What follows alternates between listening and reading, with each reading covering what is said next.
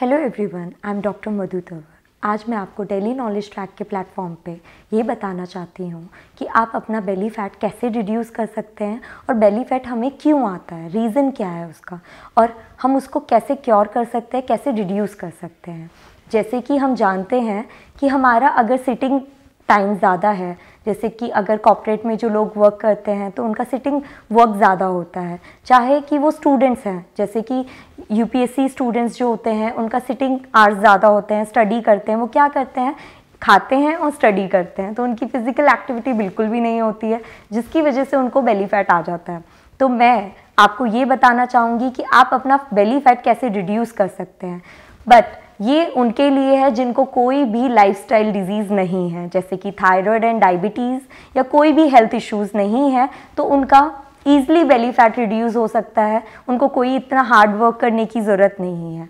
तो मेन क्या है, आपको क्या करना है अपने बेली फैट को रिड्यूस करने के लिए कि मॉर्निंग में जब आप उठते हैं, चाहे वो आपका कोई भी टाइमिंग हो, आपको one litre lukewarm water गर्म, गुनगुना पानी पीना है और उस गुनगुने पानी में तीन चुटकी three pinch mineral salt Himalaya pink rock salt आता है, जिसको हम हिंदी में सेंधा नमक भी बोलते हैं। तो आपको क्या करना है, एक लीटर पानी में, गुनगुने पानी में तीन चुटकी सेंधा नमक रॉक सॉल्ट डालना है, जिसको फिर आप शेक करके आपको वो पानी फ्रेश होने से पहले, जब सुबह आप फ्रेश होने जाते हैं, उससे पहले आपको वो पानी पीना है धीरे धीरे एंड फिर आप फ्रेश होने जाएँगे। इससे क्या होगा, आप अच्छे से फ्रेश होंगे आपका जो स्टमक है वो अच्छे से क्लीन होगा और वो लाइट होगा, जिससे कि आपको दिखेगा कि वो थोड़ा सा सॉफ्ट हो रहा है। जो आपका टाइट बेली है, वो थोड़ा थोड़ा आपका सॉफ्ट होने लगेगा।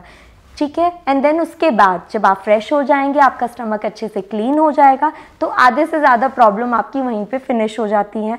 पर आफ्टर फ्रेश जब आप फ्रेश हो जाएँगे, उसके बाद आपको क्या करना है? उसके बाद आपको एक टॉनिक बनाना है घर पे। ये आपको हेल्प करेगा आपकी बेली फैट को रिड्यूस करने में। तो आप क्या करेंगे जो ये आपका टॉनिक है, आप कैसे बनाएँगे घर पे? तो आपको क्या करना है? एक फ्राई फ्राइवर लेना है, उसमें थोड़ा सा पानी डालना है।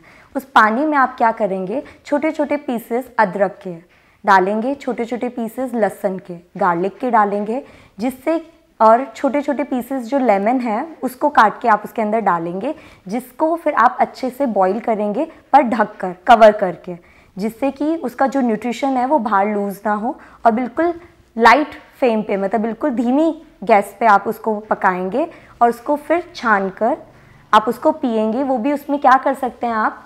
थोड़ा सा मिनरल सॉल्ट डाल सकते हैं, हिमालय पिंक रॉक सॉल्ट जो होता है, वो आप उसके अंदर डाल सकते हैं।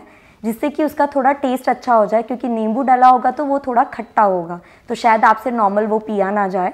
तो इसलिए आप उसके अंदर थोड़ा सा मिनरल सॉल्ट डाल सकते हैं, जिससे कि आप उसको पी पाएँ और उसको जब आप सिप बाय सिप पियेंगे और डेली रोज़ आप अपना मॉर्निंग में खाली पेट जब उसको पियेंगे तो उससे क्या होगा, आपका मेटाबॉलिज्म फास्ट होगा और जो आपका बेली फैट है वो आपको रिड्यूस होने में हेल्प करेगा और जो बेली फैट है वो उसको ब्रेक डाउन करने में हेल्प करेगा आपको।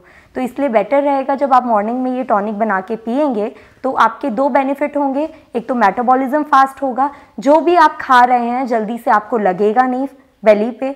प्लस सेकेंड थिंग क्या होगा, आपके जो बेली फैट है उसको ब्रेक डाउन में हेल्प करेगा वो रिड्यूस करने में हेल्प करेगा।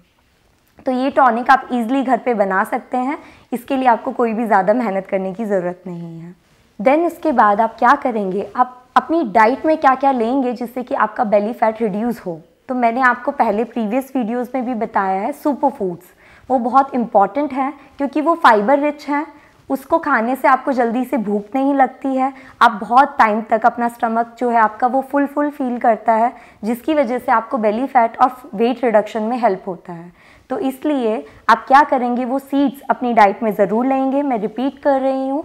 Pumpkin sunflower watermelon seeds and flax seeds कद्दू के बीज, अलसी के बीज वाटरमेलन सीड्स और सनफ्लावर सीड्स ये चार सीड्स हैं जो अपनी डाइट में आप ले सकते हैं, जिससे कि आपको जल्दी से भूख नहीं लगेगी, आपका स्टमक फुल रहेगा, वो फाइबर रिच है, वो आपका वेट रिडक्शन में भी हेल्प करेंगे और आपके बेली फैट को रिड्यूस करने में भी हेल्प करेंगे.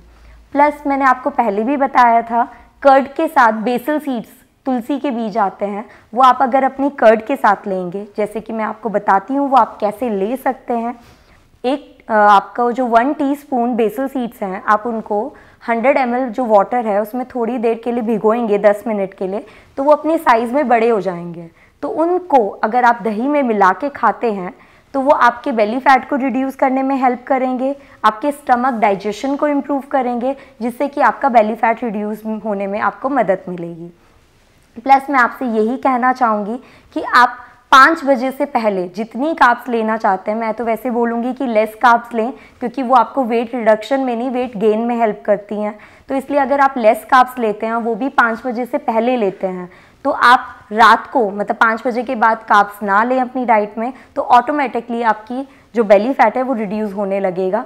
प्लस जो रात को मैं अगर आप वेज हैं तो वेजिटेरियन हैं तो आप सैलेड सूप्स में घी डाल के, देसी घी, गाय का एक चम्मच डाल के ले सकते हैं और रात को सोते टाइम दूध। ये चीज़ें अगर आप करेंगे तो ऑटोमेटिकली आपका बेली फैट रिड्यूस होगा और आप सीड्स भी ले सकते हो पाँच बजे के बाद, जिससे कि थोड़ा स्टमक आपका फुल रहे। प्लस जो नॉन वेजिटेरियन है तो वो क्या कर सकते हैं? नॉन वेज लें, उसके साथ वन प्लेट भर के सैलड लें। तो उससे क्या होगा कि सैलड फाइबर रिच है और, जो नॉन वेज है वो प्रोटीन रिच है। तो वो अपनी डाइट में जब आप लेंगे तो ऑटोमेटिकली आपको कॉन्स्टिपेशन की प्रॉब्लम नहीं होगी क्योंकि आप प्रोटीन रिच डाइट ले रहे हैं रात को। तो फाइबर रिच डाइट बहुत इंपॉर्टेंट है। तो सैलेड अगर आप प्लेट भर के लेंगे they are rich in fibre तो वो आपको अपनी डाइट में ज़रूर इंक्लूड करना चाहिए, जिससे कि मॉर्निंग में आपको कॉन्स्टिपेशन की प्रॉब्लम ना हो। अगर आप ये पैटर्न ऑफ़ डाइट फॉलो करते हैं तो ऑटोमेटिकली आपका बेली फैट भी रिड्यूस होगा, और आप शेप में आएँगे, और जो आपकी प्रॉब्लम है बेली फैट की, वो भी रिड्यूस होगी। आपका जो बेली फैट की जो प्रॉब्लम है, वो भी सॉल्व हो जाएगी। अगर आप वो एम स्टमक टॉनिक बना के लेते हैं, जो मैंने अभी आपको बताया है मॉर्निंग में, खाली पेट अगर आप वो टॉनिक लेते हैं गरम गरम मतलब वॉम तो उससे आपका बेली फैट रिड्यूस होगा प्लस आपका मेटाबॉलिज्म फास्ट होगा। तो अगर आप ये पैटर्न ऑफ़ डाइट फॉलो करते हैं तो आप देखिए आपकी बॉडी में क्या रिजल्ट्स आए हैं, और आपको जल्दी से जल्द रिज़ल्ट मिलेंगे। वन मंथ में आपको विजिबल रिज़ल्ट मिल जाएँगे। Thank you so much